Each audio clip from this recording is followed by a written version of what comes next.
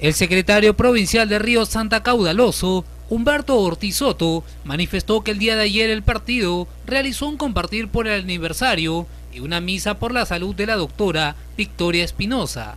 A la vez mencionó que trató de contactarse con el presidente fundador, pero no hubo una comunicación.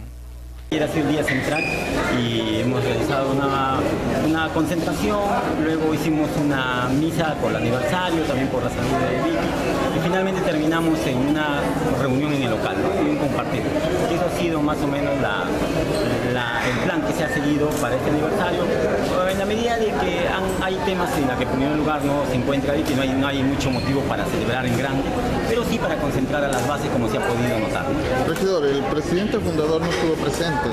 Sí, no, yo, como siempre se forma una comisión, la comisión que ha estado llamando, lamentablemente no se han podido comunicar, seguramente esa es la razón por la cual no se ha hecho presente. ¿Siguen las discrepancias dentro del movimiento?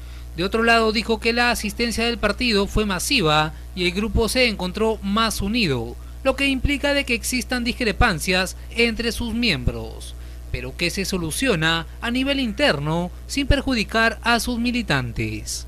Porque la, asistencia ha sido masiva, grupos no hay, no conozco a nadie del grupo, cuando hay grupos se oponen en algún lugar, en algún lugar están en alguna esquina gritando, no, en las asambleas, en todo no hay, que hay algunas personas que es normal, que en las mejores familias hay problemas, tengan discrepancias, es normal, pero grupos felizmente no existen no hay, porque si no se notase la se notase que sí hay, hay temas y posiciones discrepantes, sí es normal, ¿no? Imagínense todos los partidos, tienen peores cosas que nosotros, lo que ha sucedido es algo interno nada más, lo único que lamentablemente afloró al exterior. Porque si no, se hubiera seguido manteniendo como un tema de adentro, como tantas veces lo hemos tenido. Nosotros tenemos más de 28 años ya y hemos tenido ciertas cosas siempre, pero se ha sabido manejar internamente. Ahora, ya estamos en un aniversario más y todo ello. Y el presidente fundador Thank you. No se acerca, no da avisos, no conversa con ustedes, que usted principalmente que es el secretario general. Ahí se, ya se nota el divisionismo. Es un tema que de repente él va a responder a ustedes, ¿no? Por, lo, por ese tema yo he decidido ya no vamos a tratarlo, vamos a conversar todo internamente. Es un tema ya del partido, vamos a, creo que en algún momento dimos una conferencia de prensa donde fuimos claros que era la última vez que nosotros íbamos a tratar un tema que para nosotros ya se convierte en un tema ya de carácter de familia. Hay que adentro verlo porque las cosas afuera uh, faltan bastante. Tenemos la responsabilidad de dirigir la municipalidad y hay que estar concentrados en ese tema. También agregó que no tiene conocimiento acerca de la salida de la doctora Rosa María Bartra, ya que fue un apresuramiento la decisión tomada por su persona y no fue comunicada a sus seguidores del partido, quienes la estuvieron esperando el día de ayer, sin saber qué informar acerca de su asistencia. Eh, creemos de que ha sido un apresuramiento para nosotros, de opinión personal, ella es libre de decidir.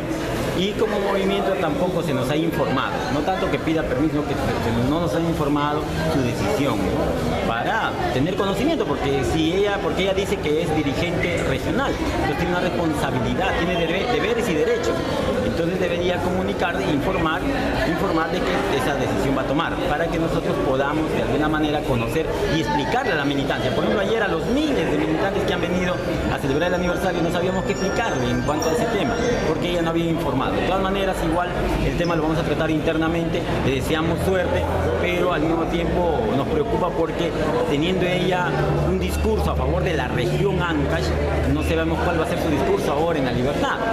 Esperamos que no se olvide Chineca, nada más, ¿no? Si el voto le favorece, esperemos de que se acuerde Chineca. Regidor, ¿esta es una deslealtad contra el movimiento? Más que eso, que, como le digo, es, una, es un apresuramiento de parte de ella, ¿no? Y, bueno, ella tendrá que seguramente explicarle a la militancia eh, cuál ha sido su motivo.